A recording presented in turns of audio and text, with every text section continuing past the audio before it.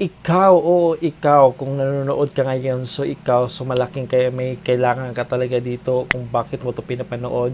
Kasi nga di, siguro yung book mo nangangailangan ng advice or nangangailangan ng solusyon kung anong maganda bang gamitin sa book mo. And now yung products na ipapakita ko sa inyo ngayon so maganda talaga siya gamitin depende sa buhok na depende sa status ng buhok mo eh kung buhok mo naman dry lang or hindi naman siya exposed talaga siya or color treated lang siya, hindi siya exposed ng ribbon or ini-relax, basta treated lang siya or madalas ka lang magkulay, mag-highlights. So ito yung maganda, isa sa mga i-recommend ko sa inyo. Caravan Vanilla Phyto, Phyto Booster. So ito siya, maganda rin to siya.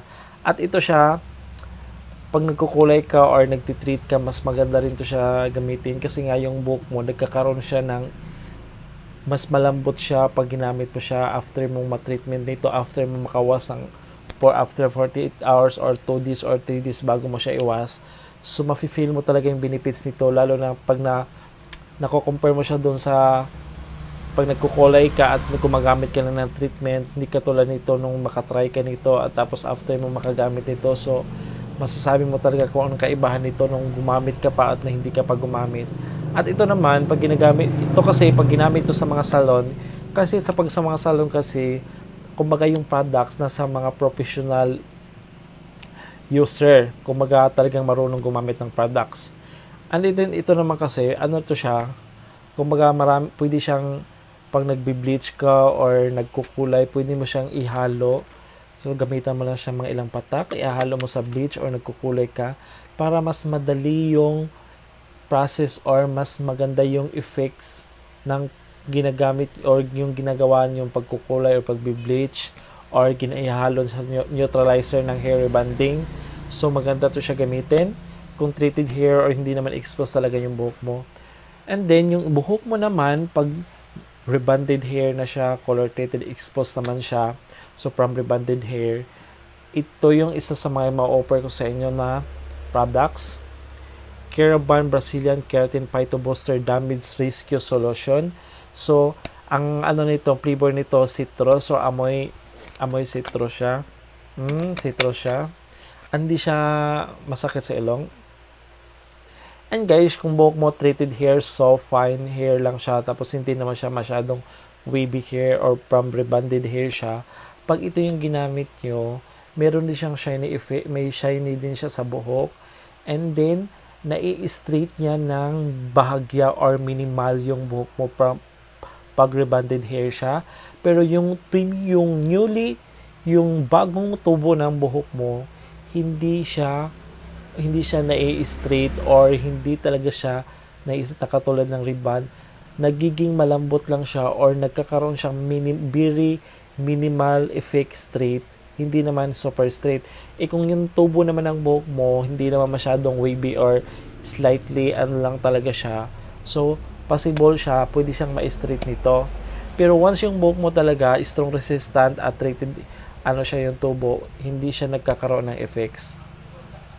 Ang nagkakaroon ng effects nito doon sa rebonded hair na bago ng tubo yung yung rebonded hair rebonded hair na pero yung buhok ng newly hair, hindi siya nagkakaroon ng straightening effect lalo na pag strong resistant yung buhok mo.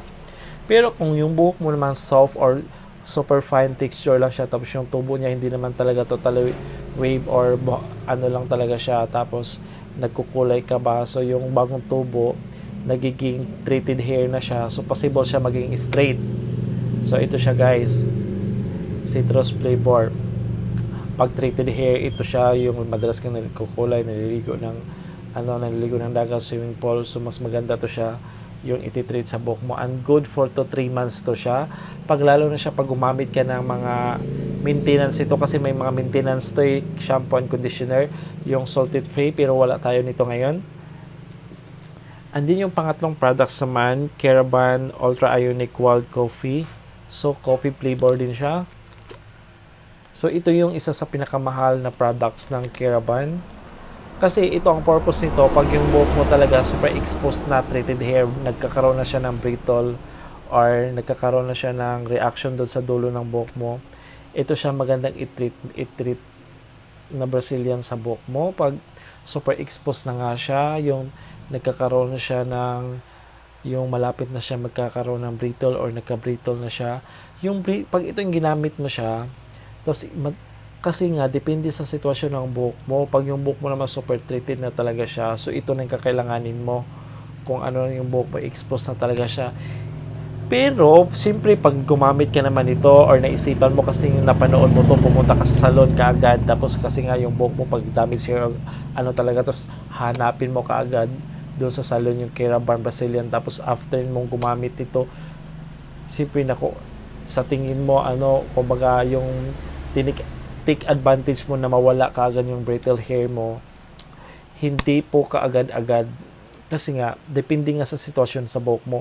Kasi nga, ito, nakakawala siya, depende sa sitwasyon ng buhok mo.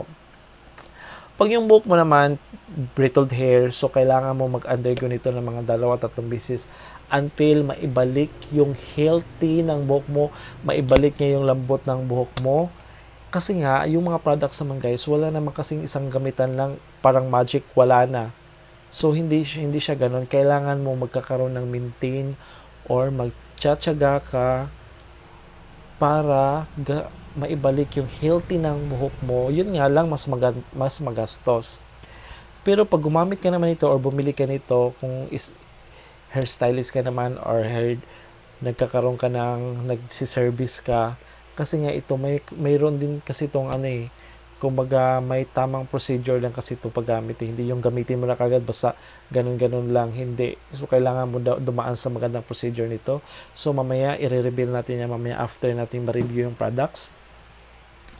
And then, yung panghuling products na i-review natin, ito sa Keratin, Bras Keraban Brazilian Keratin Treatment, and Green Wild Coffee ito naman siya, yung bago nila, ito siya, pag yung buhok mo, for example, super bleach, kasi nga nag, nag-bleach ka dahil na gusto magkaroon ng kulay ng ash or ash gray or gray, basta lahat ng binibleach at nagkukulay kasi nga, pag may gusto kang ma-achieve na kulay, kailangan mo i-bleach talaga siya, katulad na lang ng ash or gray ash or white ash or mga ganong ash, basta sa ash series siya.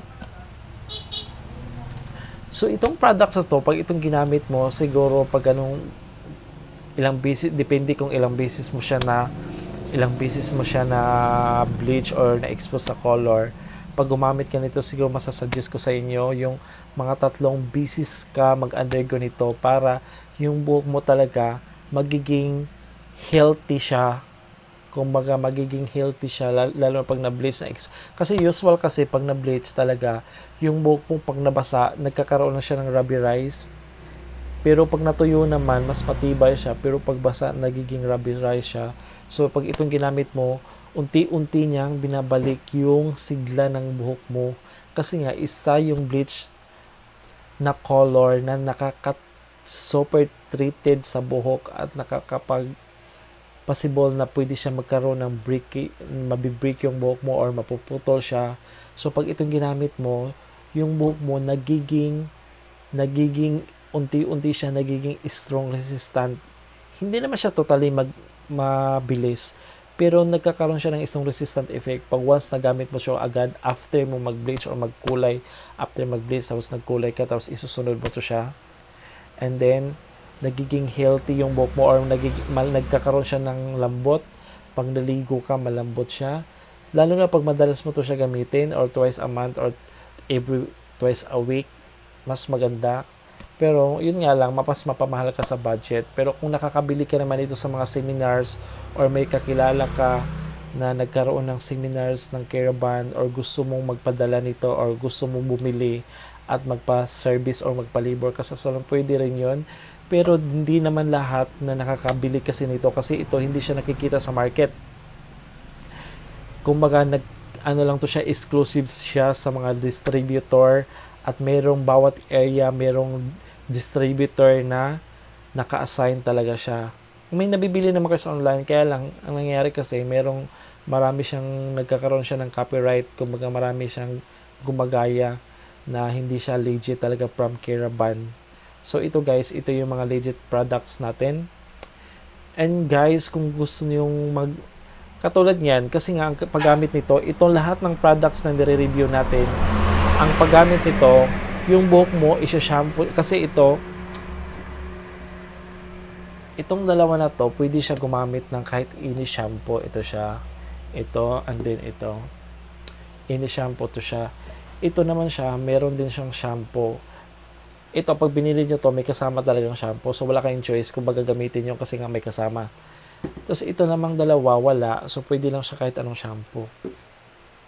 And paggamit naman ito, guys, ano siya, kumbaga, isa-shampoo mo siya ng dalawang beses. Depende sa buhok mo ng sitwasyon ng buhok mo kung greasy hair or oily hair. So, isa-shampoo mo siya. Kung hindi naman siya oily hair or greasy hair or malinis na yung buhok mo kasi araw-araw ka naman or hindi ka naman expose sa mga oily or alibak, alikabok na lugar. So, pwede rin siya isang beses lang shampoohin pero shampoohin mo.